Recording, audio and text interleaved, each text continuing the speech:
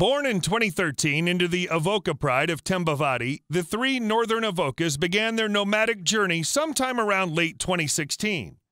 Their search for a territory of their own brought them south. There they clashed with a few resident coalitions. Around mid 2018, they managed to find an unoccupied chunk of land in northern Sabi Sands that was recently vacated by the Birmingham Coalition. The Avocas laid low for a while before announcing their presence. The former kings, known as the Birmingham males, tried to chase them out, but the Avocas persisted.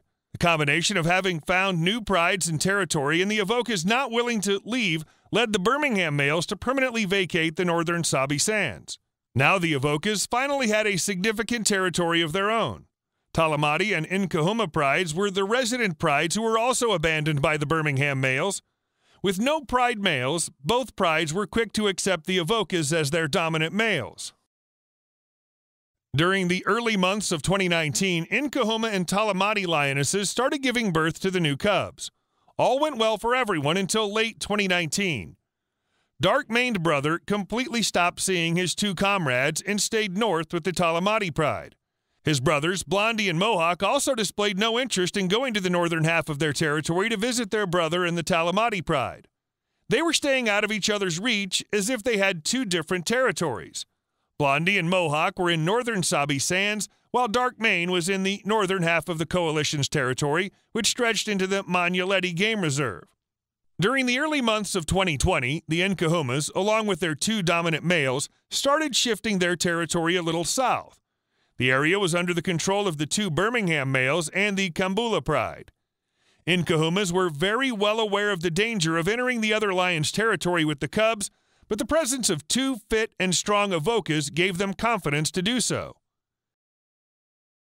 In early 2021, Dark Mane paid a surprise visit to his brothers. Hopes of reunion were shattered quickly when Mohawk made it clear that he was not going to tolerate him.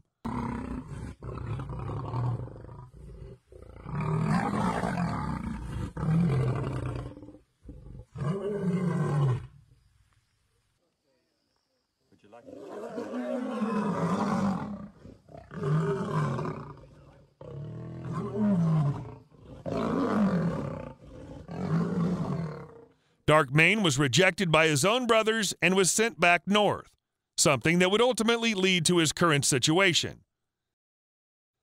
After the failed reunion, Blondie and Mohawk decided to expand their territory. Both brothers had set their sights on the Birmingham males. The Avocas, along with the Nkahuma Pride, were inhabitants of a portion of the Birmingham territory since early 2020. Up until this point, both coalitions had coexisted very near to each other but things were about to change. In April 2021, one of the Avocas made an audacious move.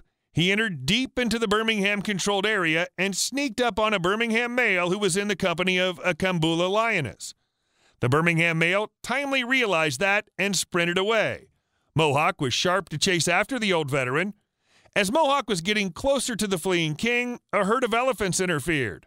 This gave an opportunity to the Birmingham male, who managed to escape. Mohawk then proceeded to roar, which was an obvious display of authority and a challenge to the residents.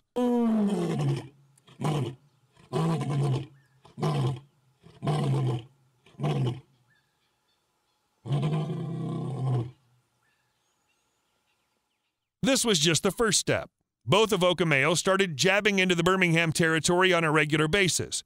Both coalitions were engaged in a few back and forth chases on one such occasion, one of the Birmingham males was caught by the Avocas, but managed to get away with a few scratches.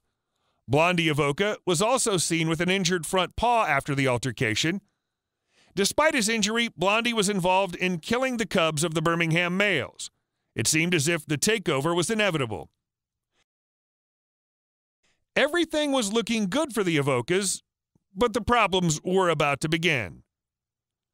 When Blondie and Mohawk were busy trying to take over Central Sabi Sands, a coalition of four N'waswitshaka males from far south had also sensed the weakness of the Birmingham males.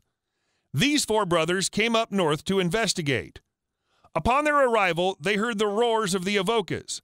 This led to an altercation, which forced the Avocas back into their core territory. Blondie, who was already suffering from an injured front paw, had a few gashes on his back This wasn't the only loss both brothers had to endure. When they were busy operating in Birmingham territory, Plains Camp males arrived in their absence and took away a couple of lionesses from the Nkahuma pride. Soon after the failed takeover, Blondie was found with a hole in his skull. Sabi Sands officials speculated that it might have been a gunshot and helped him. Thankfully, it wasn't a bullet, but instead an injury endured during a scuffle with other lions. As of right now, both Avoca males are content with what they have. Blondie is recovering from his injuries. Dark Mane is the one who suffered the most. Due to being left alone by his comrades, he was left as the only protector of the pride. He wasn't as fit as a lion should be due to having an injury he endured in 2019 during a hunt. His weakness was sensed by the Mbali male, who was dominant east of Dark Mane's territory. While Blondie and Mohawk were busy in their expeditions to the south, Mbali male came after Dark Mane. Dark Mane was forced to run for safety on more than one occasion Mbali male's aggressive tours to Dark Mane's territory stopped when a few lionesses of the Talamati pride left Dark Mane and joined the Mbali. Now Dark Mane was left with a few lionesses and the subadults of the pride. All of a sudden, the Talamati pride decided to leave their core territory due to unknown reasons and were found in the western sector of the Sabi Sands, an area very far away from where they usually were found. Dark Mane wasn't seen with them. Over the next few weeks, he was seen in poor condition trying to find where the pride had gone. His search brought him all the way to central Sabi Sands, where he was seen with the Kambula subadults on a kill.